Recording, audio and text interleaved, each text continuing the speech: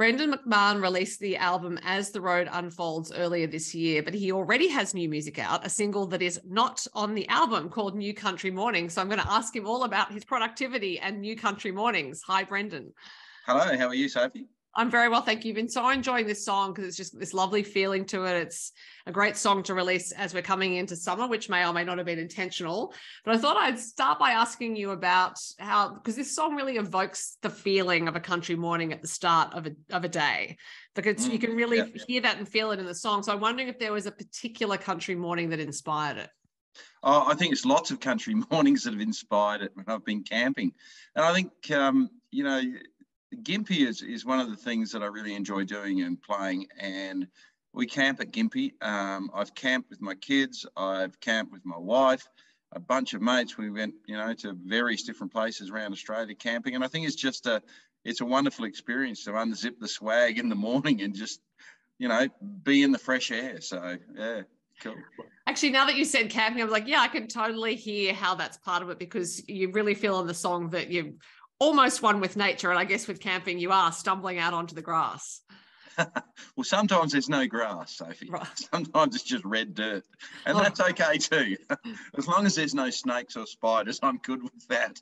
Well, and the red dirt tends to get into everything if that's where you are. But uh, do you remember the very first time you camped? Um, yeah, look, it was a, as a kid, as a kid at home in the backyard with a mate of mine. We pitched a tent up there and we decided we're going to camp outside. And I'm pretty sure it started raining, and I'm pretty sure we went back inside and slept most of the night inside. So that was the first experience of camping, but that was many, many years ago. It's gotten better since then. Yeah, right. And obviously, yes, you've had a lot of experience since then. Um, and it's also a song that's about celebrating country environments. So, what in particular do you like about being in the country? Well, I'm a country boy. I grew up, I was born in a town of 900 people, and then grew up in a town of about 2,000. So is just who I am. And I, you know, it's such an easy life. You know, you look back at when you get a bit older, you look back and you reflect on how good life was living in a small country town where you were so free and easy to go and do anything you liked, and there was no threats or you know, it was just just easy. As as long as you were home by tea time when it got dark, mum was happy. yeah. So, uh, growing up in the country, how much do you think that's influenced you uh, in terms of the subjects you like to write songs about? A lot.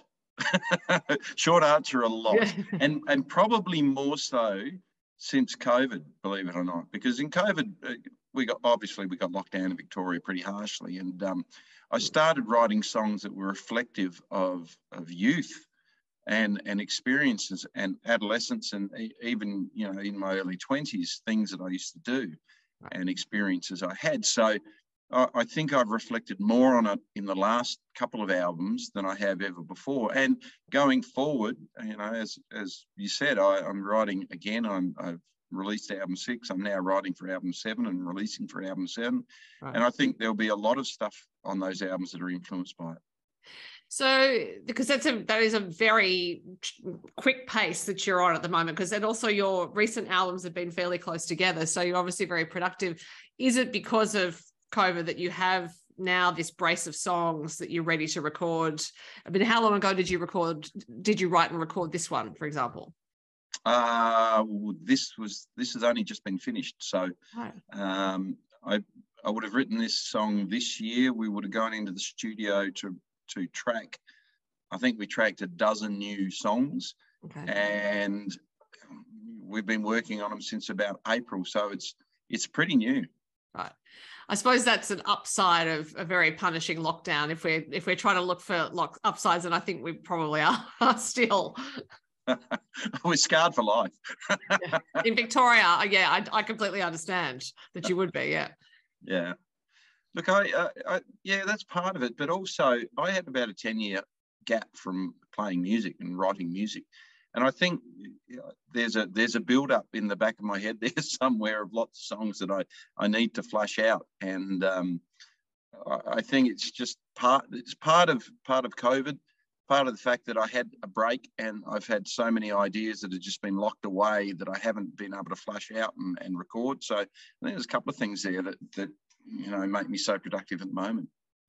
When you're carrying those ideas around, does it feel like they're sort of congested in your head? And then once you write the songs, you feel like, oh, okay, that's out. Or are you someone who keeps notes as soon as you have an idea so you can get them out of your head? Absolutely take notes. Absolutely. Right. Every time a song idea comes to me, I um, I'll record it into my phone, or if I'm in my studio, I'll record it into software. I just don't like to let any ideas slip by because of two reasons. One, because they might be good. Mm-hmm. And secondly, I feel that you've got to flush out all the ideas that possibly aren't going to be great songs to make room for the songs that you are going to record. So I would have, last count, I had over a thousand song ideas, just little mm-hmm. bits and bobs locked away. Um, that I, you know, I may go back to at any point in time, but um, I haven't need to at this point. But I, I think it's a process where you just you, you, need to get everything out so the ideas keep flowing and the good ideas mm. um, come to the surface.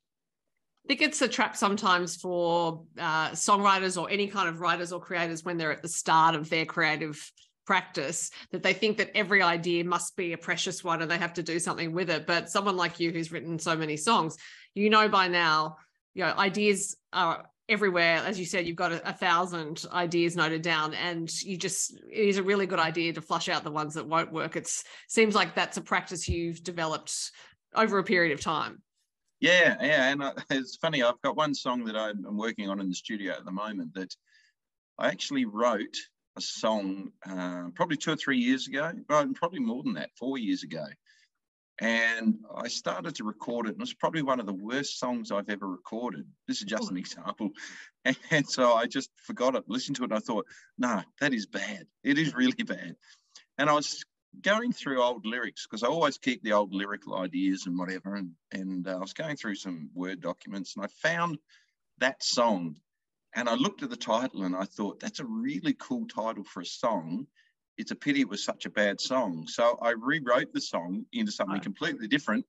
And I'm now really happy with it. So you just never know what's going to happen and what's going to take shape even from a you know a bad start to to you know reworking something as you go down you know months years later. Yeah. I'm interested when you said it, you listened back to the song and it was really bad. While you were recording it did it feel like it wasn't the right thing but you pushed through thinking oh i'm here in the studio i better do it. Yep Okay. yep. Because I record most of my guide tracks before I go into the studio where I record most of my stuff. I record all my go- guide tracks on my vocals and my guitars and whatever. And and I didn't dare unleash it into the proper studio because it would have been right. embarrassing. Right. and and the session musos I played with would have looked at me a bit strange and thought, hmm, maybe he's hit his peak now and he's got no more ideas. Right. so, so I didn't take it in there. So I guess it's also a lesson in trusting your instinct because if it was feeling a bit off when you were just even laying down the guide tracks, it's like that's off. Yeah, and it's funny, you know, I'm six albums into this writing and, and releasing, and I think the first two or three albums you find your way, mm-hmm. and then by the time you get to the fourth album, well, for me personally, by the time I got to my fourth album, I thought, oh, actually, I'm starting to get a direction here, and I'm starting to to exhaust all of the built up song ideas that I've had for many, many years. Mm-hmm. And I'm starting to focus on actually writing and recording in a particular style and a particular direction.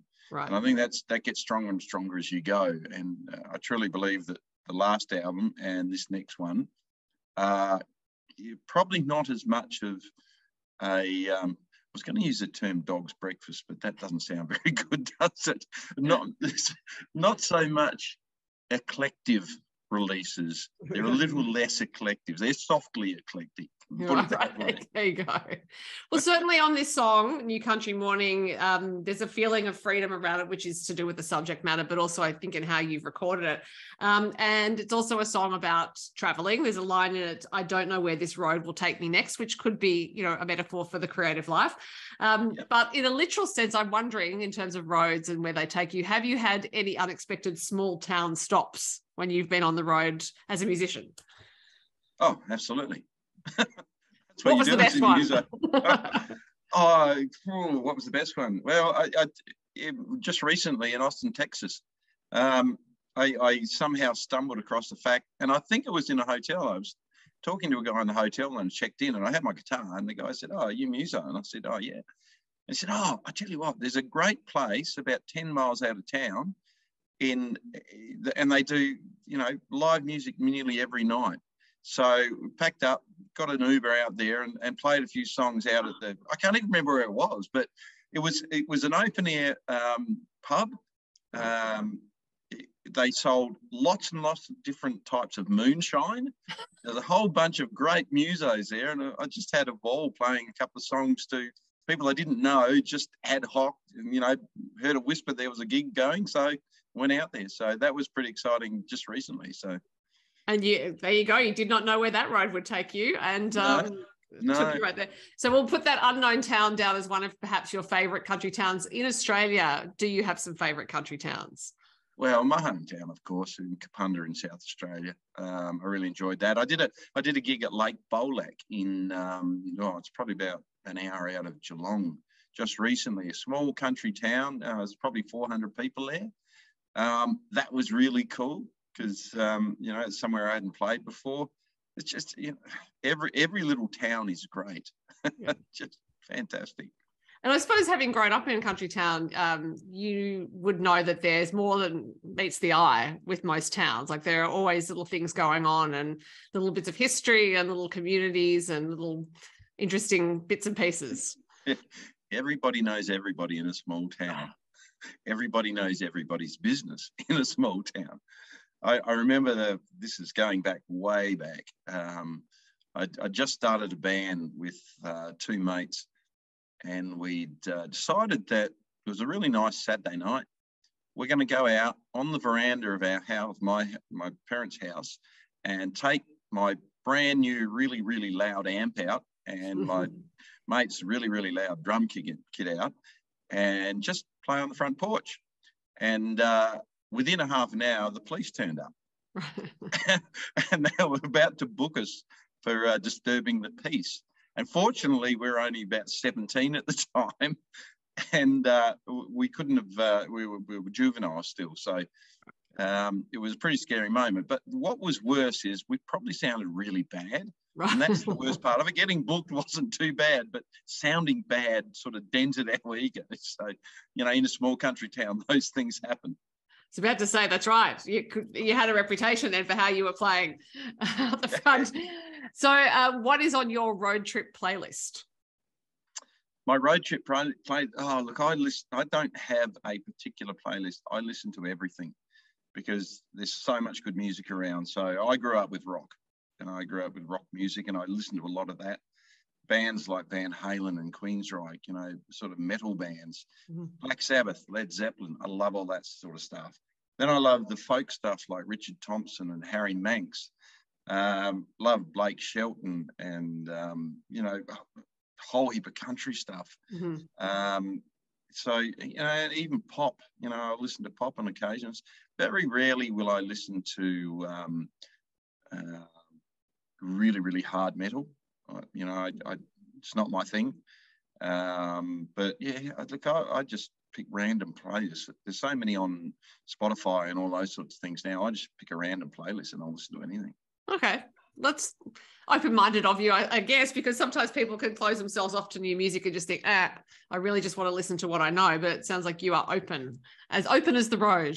Yeah, ex- ex- Absolutely. and know, I, I spent uh, a few hours driving um, to New South Wales last week and I just put Taylor Swift on. And I just thought, I really don't know much Taylor Swift music. And I listened to her old stuff right through to her new stuff. And I thought, wow, what a progression she's made. Mm-hmm. What a change she's made over, you know, not too many years in her style. So uh, that was really cool to listen to you as well. Yeah. Now, I believe you would have been on the road to the Dag sheep station in Nundle, which is near Tamworth, because I believe you've just come back from from that. So I'm wondering how yeah. it went. That was really good. That's where I was listening to Taylor Swift, actually. Yeah, yeah it was really good. The, the Dag sheep station is such a wonderful place, and and when when it was a writers' retreat, so there was I think there was about 25 or 30 songwriters there, mm-hmm. all shapes and sizes, you know, all different genres. There's no, it doesn't necessarily have to be country. It's just any any genre. And we get together for about four days, and we just meet new people and we just say, hey, you want to write a song? And generally, you know, it's yes, I'll write a song with you. And then we, we come up with ideas right there and then on the spot and see what develops. So it's um, it's a really good environment. It's a really creative environment because everybody is there to just learn and and write songs. So I've not experienced anything um, like that, a place like that before. So it's my second time there, and you know I'll continue to go to the DAG because I wrote a couple of cracker songs while I was there. So I actually interviewed Ash- Ashleigh Dallas last week just after she'd come back from there, and she said, um, you know, there are some people who are there who who don't sing or play guitar. They're, they're songwriters, yeah. and it had never occurred to me before that that might be the case but of course it is and that must make it interesting as well because as a performer i imagine you're listening for certain things in a song but then someone who's just purely a songwriter might bring something completely different yeah well there's there's a lady called lola brinton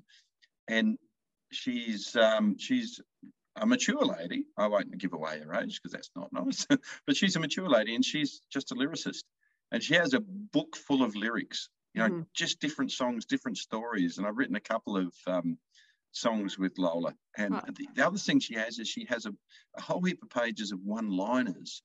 And sometimes when you're writing a song, you're just looking for that one line, you yeah. know, to finish off a song. And I've said to Lola a couple of times, you know, if you ever want to give you this book or those one liners away, I'll gladly take them because I'll write songs with them. So, and there was a couple of lyricists there this time, and we've had po- uh, just bush poets there that don't mm. actually play before, and and uh, someone will grab a guitar and, and put music to their bush poetry. So it's just a really creative environment. There was a, a theatrical lady there this time. She was just absolutely fantastic. And she, she just spent her time in theatre and the animation on her face was incredible when she performed. And, you know, she was nervous about performing and everybody just loved it. So it's a, it's a really eclectic mix of musicians that go to these things and and meet and write. And it's great to write with people who who don't necessarily play your style of music because you never know what happens. Yeah, it does sound magical. I have to say, every time I've interviewed someone and they've been there, they just, you know, their eyes light up, and there's invariably a song they've recorded that's come out of it. So it's um, it's been, it's made a massive contribution, I think, to Australian music. Oh, absolutely. And, and look, two two songs on the next album will be co-writes from the oh. DAG, and two songs on the album after that will be co-writes from the DAG. And who knows what happens next year when I go back to the DAG and write some more songs. So you've already planned two albums ahead, obviously. uh, yes. Uh, look, I started out, I was going to record six acoustic songs back in 2014, went into the studio, and all of a sudden, I'm, you know, three quarter of the way through my seventh album. So, um, yes, I have all the songs for the eighth album, uh, plus another, probably enough to do another two albums after that. Right. Um, but you know who knows what I'll write in between times. So uh, while I'm writing and while I think the caliber of the songs is good enough to put out, I'll continue to write and I'll continue to record and release. Mm-hmm. Fantastic. Uh, and being on the road in New South Wales, uh, if you continue past the DAG, of course, you'll get to Tamworth, and there will mm-hmm. be the Tamworth Country Music Festival there in January. Will you be back on the road to Tamworth in January? Absolutely. My first gig is on the Friday that it starts, and I think my last gig is on the Saturday that it finishes. Oh, right. And I got a bunch in between. I think I've got 10 gigs in Tamworth at this point. Right. So, yes, definitely. Uh, that's that is a lot, particularly when being in Tamworth as a performer uh, or as an artist means you're invariably running around, seeing other people play and catching up with people. So, how do you look after your voice to make sure you can get to that Saturday gig? yeah, yeah, you just go easy. Uh, look, most of the gigs in Tamworth are between 30 and 60 minute gigs, so they're not too draining on the voice. Um, and a lot of them are acoustic gigs as well, so you can just pull back a little bit and just mind your voice. Uh, mm. But um, by the end of it, I've no doubt there'll be some uh, some rasp in my voice that wasn't there at the start. But you know, it's good fun performing. Tamworth is such a great place, and you know, people go there to listen to music, and and and the people there are just great. You know, they're there to hear music. They're not there for anything else. So yeah. it's a really good environment. It certainly is. Well, I hope you'll put your own song, New Country Morning, on your road trip playlist when you head to Tamworth, because it certainly deserves to be on anyone's road trip playlist. Brendan, it was great to talk to you about it and have fun in Tamworth. Fantastic. Thank you so much, Sophie.